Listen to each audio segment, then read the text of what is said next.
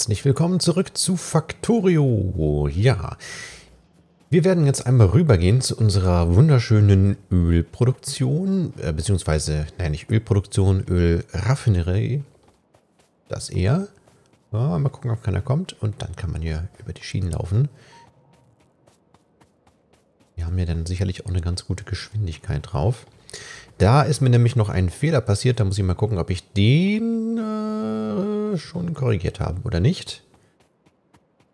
Ich vermute mal eher nicht. Und dann möchte ich gucken, dass wir vielleicht die Produktion hier tatsächlich zum Stillstand bringen und wir nicht dann in Festbrennstoff ersticken. Und zwar müsste das ja gehen, indem wir hier noch einen Lagertank hinzufügen der dann aber auch nicht im Netz mit drin ist.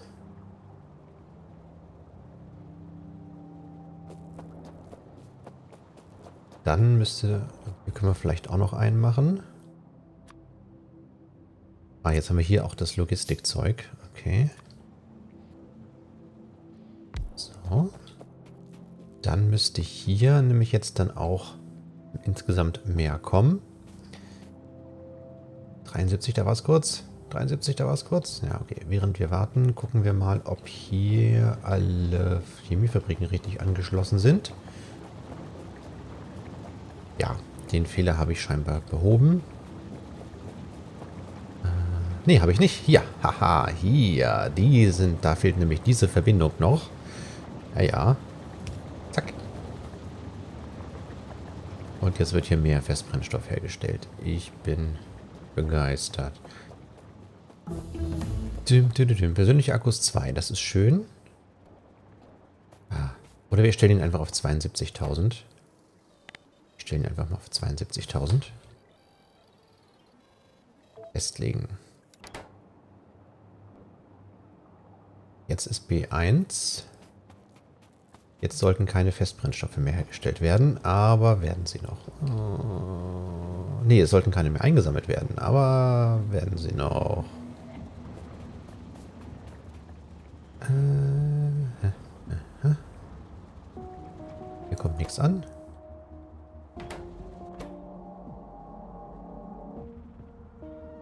Bedingung B gleich 1. B L gleich 1. Achso, wir haben nicht mehr genug von dem hier. Alles klar. Aber B ist 1. Und dann müsste doch eigentlich auch hier mit runtergehen. Ja.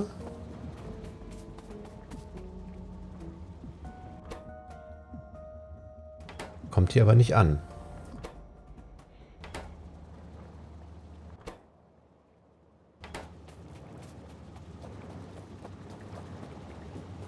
B soll 1 sein.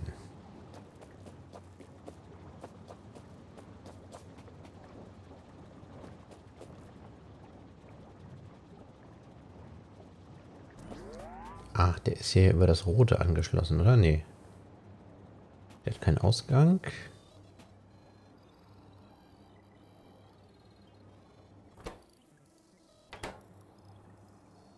Doch, da kommt es an. Aber der geht hier nicht rüber. Das müssen wir, glaube ich, nochmal machen. Dann brauchen wir nochmal einen grünen. Der von hier damit rangeht. Und jetzt sollte unten auch ankommen, dass B1 ist. Jawohl. Er gibt U aus. Und V ist 1. Okay, dann ist der noch nicht richtig angeschlossen. Ja, den habe ich falsch angeschlossen. Dann brauchen wir hier noch zweimal rot. Zack. Zack. Jetzt ist W1. Und jetzt wird hier nichts mehr angenommen. Alle Tanks sind voll. Es wird dementsprechend kein Festbrennstoff mehr äh, nicht mehr angenommen. Hier wird nur noch in die Kisten sortiert. Und damit läuft jetzt das Band voll. Und damit hören die dann auch gleich auf zu produzieren. So der Plan.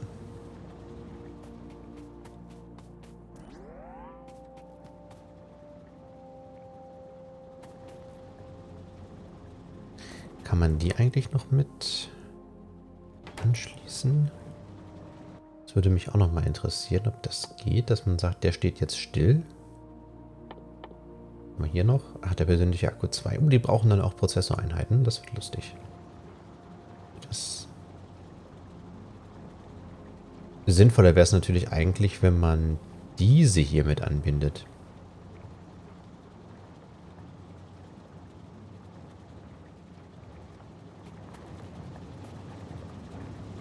Dass die nichts mehr rausgreifen. Oh, jetzt haben wir schon wieder weniger. Und wir haben Stromproblem. Na gut. Also es funktioniert jetzt zumindest. Ah, das erklärt auch einiges. Der hier ist nämlich jetzt raus. Aber dann sollten ja die eigentlich nicht mehr arbeiten. Ne?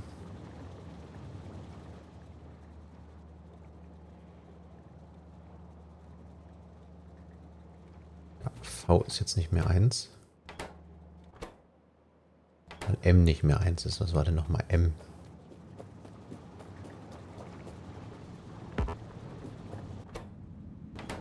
Der hier. Aha. K. L. Na gut, aber das funktioniert jetzt. Das ist schön.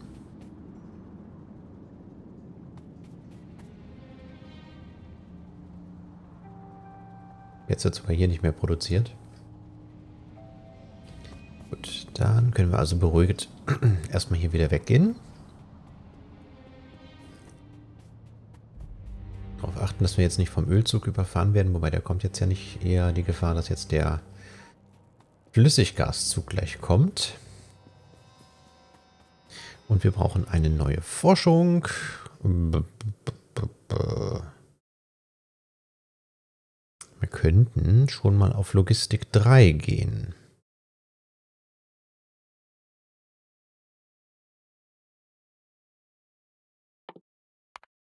Machen wir mal Logistik 3. Schnellere Bänder.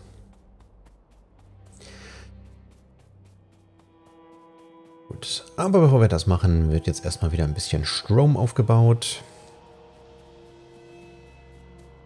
Strom haben wir hier unten, wenn mich nicht alles täuscht. Oh, ich brauche wieder Umspannwerke. Jawohl. Okay.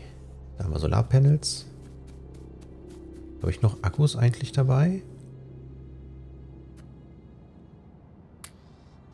Ich weiß gar nicht, von welchem wir insgesamt mehr haben. Die Akkus haben wir jetzt auch nur die 150.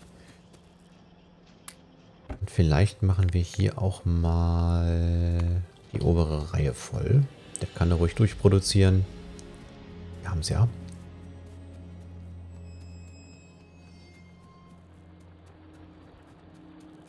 So, wie sieht es hier aus? Der hat schon keine Lust mehr. Der auch nicht. Der auch nicht. Ja, das wird hier auch insgesamt weniger.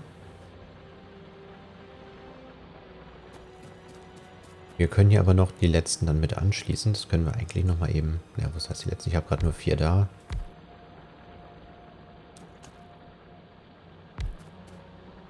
Machen wir jetzt halt so gut es geht.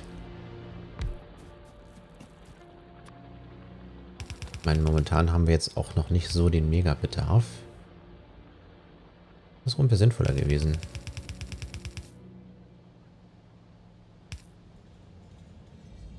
Na, machen wir ruhig so. Dann hier dran. Hier ist eh gerade die linke Seite voller, dann kann jetzt hier die rechte Seite auch nochmal ein bisschen was dazu kriegen. Dann haben wir das nämlich auch soweit. Gut, aber Kupfer ist gerade eh nicht so das Problem. Noch nicht. Hm, bin gerade überlegen, ob wir dann nicht vielleicht danach doch noch eine Kernenergie aufbauen. Ich meine, wir brauchen gerade den Strom hätte irgendwie Bock gerade. Jetzt gerade in dem Moment hätte ich Bock. Mal gucken, ob wir da schon alle wichtigen Technologien für haben, weil wenn da nur eine fehlt, dann lohnt sich das nicht. Können wir hier nochmal Stahl und... Was wollte ich? Umspannwerke wollte ich. Wo haben wir die denn eigentlich? Oder haben wir die unten? Hier oben haben wir sie nicht. Dann sind die bestimmt unten. Ja, die habe ich jetzt so selten geholt.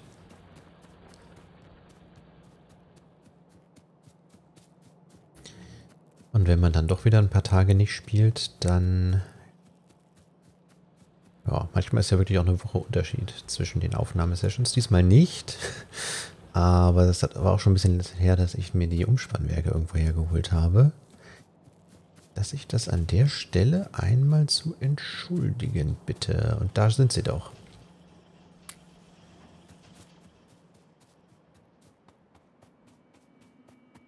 Dann können wir jetzt hier Strom weiter aufbauen. Ach, das habe ich gar nicht... Die habe ich gar nicht mit den Umspannwerken gemacht. Die habe ich mit den normalen mittleren Strommasten gemacht. Das ist ja auch okay. Ja, der hier läuft immer noch verzweifelt seine Kreise. Den haben wir da eingebaut. Dann bauen wir mal hier hinten weiter. Eigentlich hätte man die auch einfach mal fernen können. Naja. Na, ich muss hier noch einen weiter runterbauen. Kein Platz verschwenden, ja. Geht er mal weg. Ja, das war wieder falsch. Jetzt haben wir es.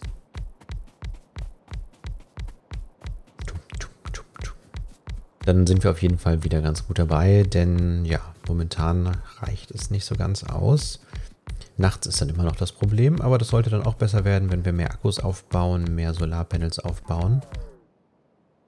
Ja, und vielleicht äh, dann ja auch nochmal erweitern. Kernenergie. Aber die dann keinesfalls als Hauptenergieträger. Das hier mit den Solarpanels ist auch so eine Sache. Das mit dem Hauptenergieträger, man sieht ja, wie viel Platz die brauchen. Das ist, finde ich, immer so der Nachteil daran. Da passt noch einer hin. Die Tode hier, die bewegen sich gar nicht. Achso, jetzt müsste ich einmal hier Strommasten setzen. Gut, wenn die dann gleich weggehen, dann kann ich ja nochmal welche hinsetzen. Auch nicht verkehrt.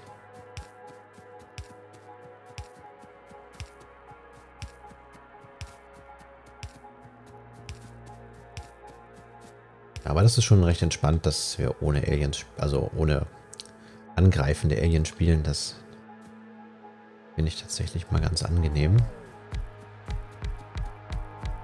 Man hätte jetzt natürlich noch die Dings hier weghauen können.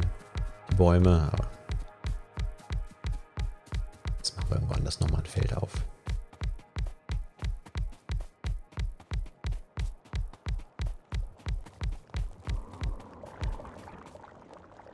gleich wieder ein zu weit weggebaut.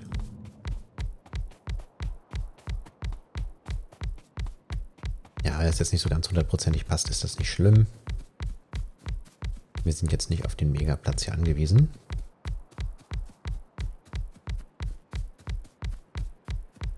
Sieht halt nicht so schön aus. Ja. Da kommen wir mit klar.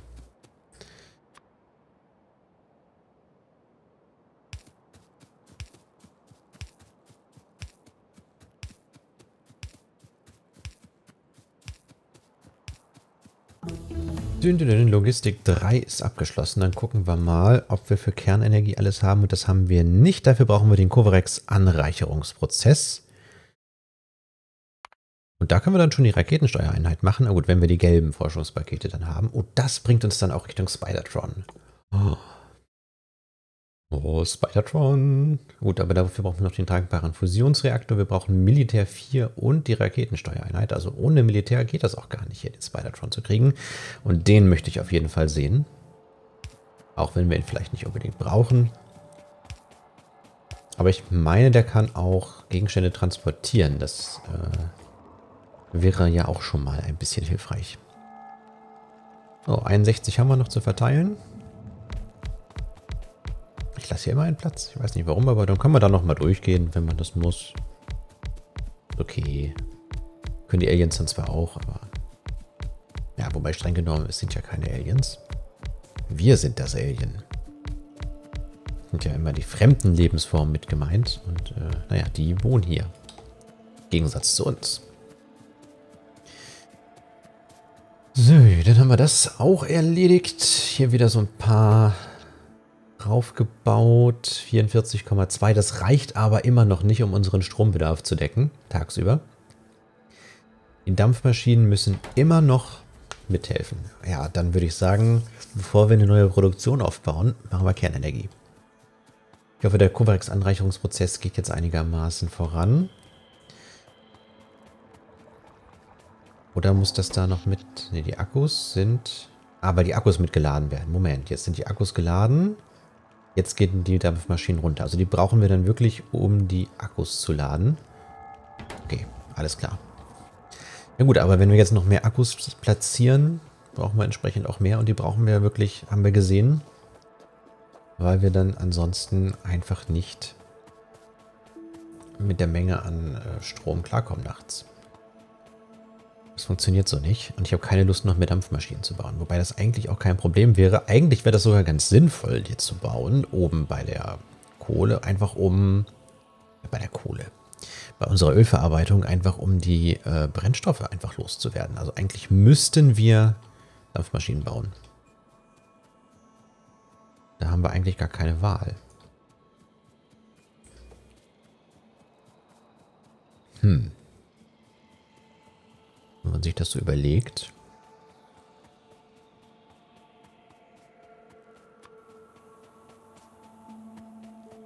So, hier haben noch ein paar Akkus gefehlt.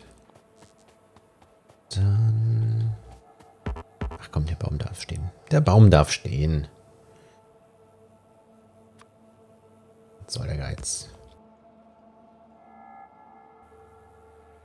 Der eine Akkuplatz macht den Kohle auch nicht wett.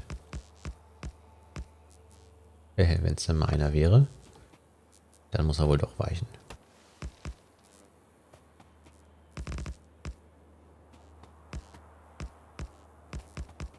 Ach ja, irgendwann können wir die auch automatisiert alle aufbauen. Dann müssen wir das nicht mehr selber machen. Sind wir ja nicht mehr so weit von entfernt.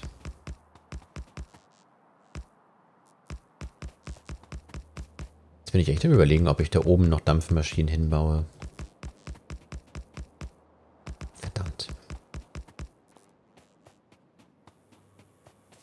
Hier sind noch so viele Bäume.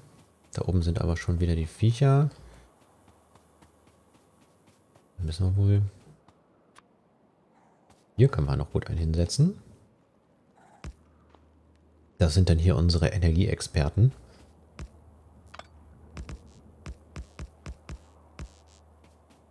Der Baum muss leider auch weichen. Für die Zukunft, für den Fortschritt.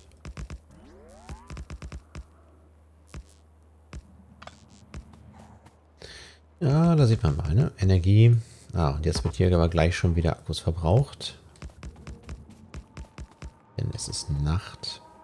Wir haben keinen Strom. Das ändert sich am nächsten Tag.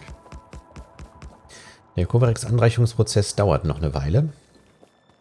Vielleicht sollten wir tatsächlich einfach oben noch ein paar Dampfmaschinen hinsetzen, denn nachts haben wir, glaube ich, echt ein Problem. Obwohl, noch nicht. Aber noch ist auch nicht tiefste Nacht. Ja, es macht halt schon Sinn.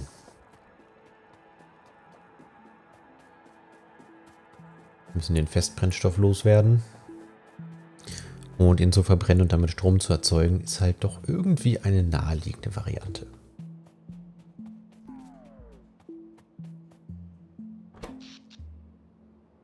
Noch sieht es aber gut aus mit der Bedarfsdeckung halten die Akkus. Dampfmaschinen laufen natürlich jetzt auch voll durch, das ist klar.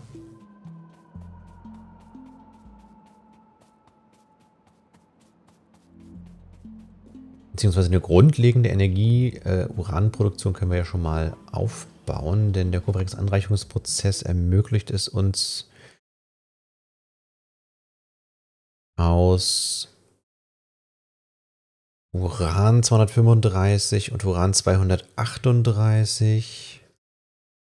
Komponenten. Genau. Ähm, wiederum Uran, ein Uran 235 zu generieren. Und das Uran 235 brauchen wir. Das andere ist nur ein, End, ist nur ein Restprodukt. Wiederaufbereitung von Kernbrennstoff wäre natürlich auch noch eine schöne Sache. Wenn wir das noch hätten. Ähm, das ist aber nur etwas Zusätzliches. Das ist auch nur etwas Zusätzliches. Das heißt, eigentlich könnten wir da jetzt voll durchstarten. Äh, Uran haben wir. Da würde ich das hier unten nehmen. Das ist besser als das hier am Wasser. Außer wir brauchen Wasser. Aber dann müssten wir noch Landfill herstellen. Brauchen wir Wasser? Äh, Uranverarbeitung. Zentrifuge braucht Uran 235. Ah, nee, braucht Uranerz, macht daraus Uran 235 und 238. Uran-Brennelement. Ach, die brauchen Eisenplatten. Mhm. Die brauchen Eisenplatten.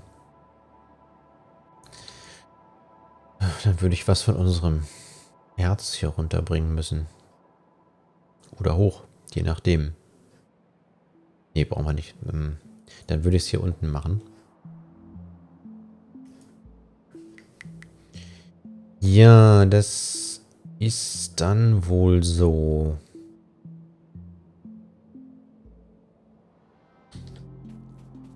Ah, das ist ja blöd mit dem Eisen.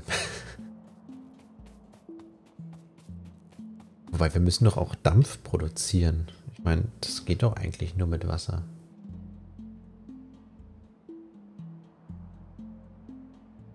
Wir es vielleicht doch nicht. ah. Brennelement. Genau, aber dann ist ja die Frage, wie machen wir aus dem dann Strom?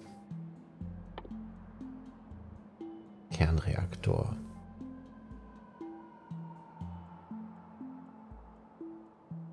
Zeugt Wärme.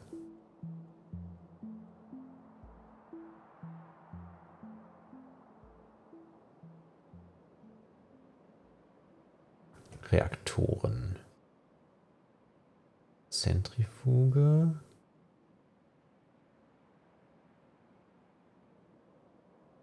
Dampfturbine. Er braucht Dampf. Wärmetauscher. Ja, der braucht dann Wasser. Genau. Damit machen mit dem Kernreaktor würden wir dann Wärme erzeugen. Damit würden wir Wasser zu Dampf äh, verarbeiten. Wäre jetzt halt auch nochmal ein Mega-Projekt. Das ist klar. Ne? Das äh, wäre jetzt nicht so ganz ohne. Ah ja, die Forschung dauert so lange, weil wir natürlich hier kaum Lilane dann noch haben. Nee, wohl, nö. Lilane haben wir, das ist kein Problem. Aber die stellen wir natürlich nur sehr langsam her, gerade weil hier wieder Schienen das Problem sind. Da arbeiten nur zwei, drei Fabriken. Ich werde mir mal Gedanken drüber machen, ob wir die Reaktoren machen oder nicht. Ein tagsüber kriegen wir es jetzt. Ja, tagsüber sind wir da echt entspannt unterwegs. Vielleicht würde ich die Akkuproduktion noch mal ein bisschen erhöhen. Ich glaube, dann kriegen wir es auch erstmal mit Solarenergie hin halten uns Kernenergie aber nochmal offen. Aber gerade was jetzt das tagsüber angeht, da sind wir ja sehr entspannt. Da sind wir richtig entspannt. Dann muss ich nur häufiger mal Strom ausbauen. Weil ja, Kern, äh, das andere